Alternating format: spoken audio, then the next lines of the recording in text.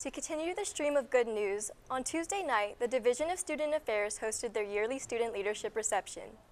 This year, three halls were awarded Hall of the Year, with Pasquerilla West taking home the Women's Hall of the Year award, Carroll Hall taking it on the men's side, and O'Neill Family Hall under the direction of Colin Malik, Frank Jang, and Jack Kelly.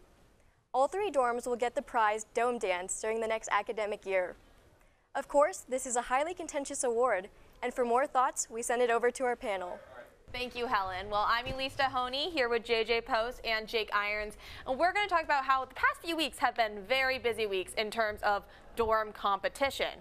I mean, just in the past few weeks, uh, ND Barstool has had Yeah. their own bracket for dorm competition, uh, Irish Woodworks, and probably most importantly, we were named, well, not we, other dorms were named Hall of the Year, uh, which Helen just mentioned. But I want to start out just talking about these Hall of the Year awards because they're most important. So I, in, it was the men's Hall of the Year was Carroll, women's Hall of the Year was P-Dub, and then overall Hall of the Year was O'Neill. Opinions on O'Neill being overall Hall of the Year.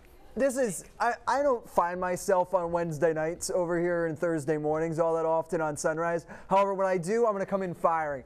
There shouldn't be two Hall of the Years. So in this situation, O'Neill winning the overall Hall of the Year and then Carroll winning the men's, just eliminate the men's out. They are the men Hall of the Year, also taking the overall. There's no need to do d- both.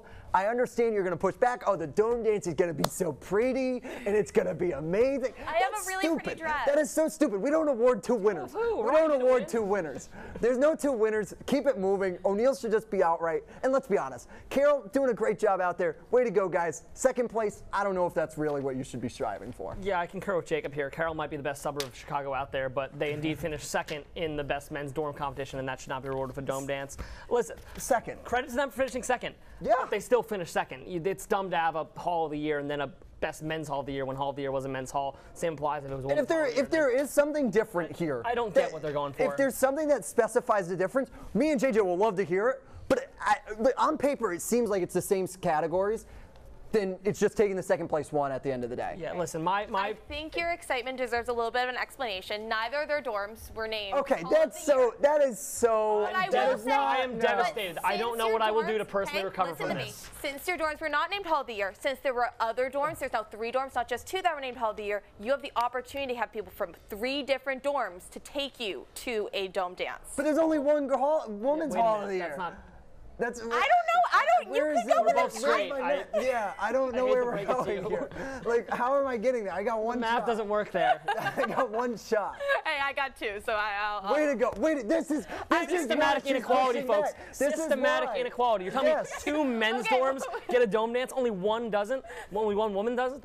I'm, all I'm saying, systematic inequality. If there's any guys in O'Neill or Carroll who need a date to dome dance, Shameless. I am. This is not what mass media is But for. Moving on, moving on. Propaganda. Let's let's go to a more a more informal competition. Uh, ND Barstool had their recent bracket competition for dorms. First of all, did you guys vote in these in these brackets? You didn't vote. You didn't vote. That's why Fisher. I have better things to do on Instagram than look at ND Barstool, such You're as not passing. being on Instagram. You're passing through the Instagram stories. I'm sitting there at two at like midnight, and you're just like, uh, uh, okay, hold on, here we go. Real men go. use Twitter, not Instagram. I use Twitter too, boss. Did you not see? I got a tweet out there right at the current moment. I'm just saying. our our pretty desk host. Tyler knows the virtues of Twitter. Yes, yeah. We'll get we'll But- get to that debate on a later time. At the end of the day, You voted. I voted yes because that's the Good. that's your Notre Dame right. I think Mary Claire, who's our camera operator, voted. I bet you Helen voted. I bet you you voted. I did, and you know I voted for Siegfried for you. Thank you, thank you. And you Hall. voted. For, you told me you voted for Ryan over when you asked me to vote for Ryan, I voted for Ryan out of respect for your request. Otherwise, I was not, make voting in these polls. Ryan made it past the first round, luckily, but we didn't make it much further than that, even though